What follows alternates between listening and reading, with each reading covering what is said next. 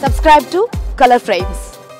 భారత క్రికెట్లో ఓపెనర్గా ప్రత్యేక స్థానం ఏర్పరచుకున్న హిట్మ్యాన్ రోహిత్ శర్మ తనదైన ఆట తీరుతో జట్టుకు ఎన్నో మధుర విజయాలను అందించాడు.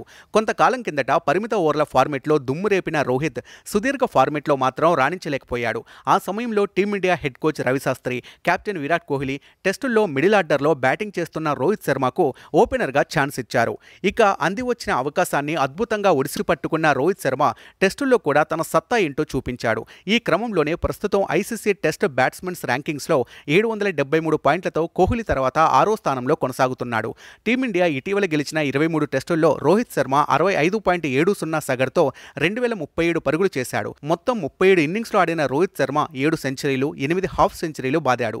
సుదీర్ఘ ఫార్మెట్లో హిట్మ్యాన్ అత్యధిక స్కోరు రెండు వందల పన్నెండు పరుగులు కావడం విశేషం. ఇదిలా ఉంటే ప్రముఖ జర్నలిస్ట్ బొరియా మంజుదర్ కుషన్ సర్కార్ రాసిన మిషన్ డామినేషన్ యాన్ అన్ ఫినిష్డ్ క్వెస్ట్ అనే పుస్తకంలో రోహిత్ శర్మకు సంబంధించిన ఓ ఆసక్తికర విషయాన్ని వెల్లడించారు.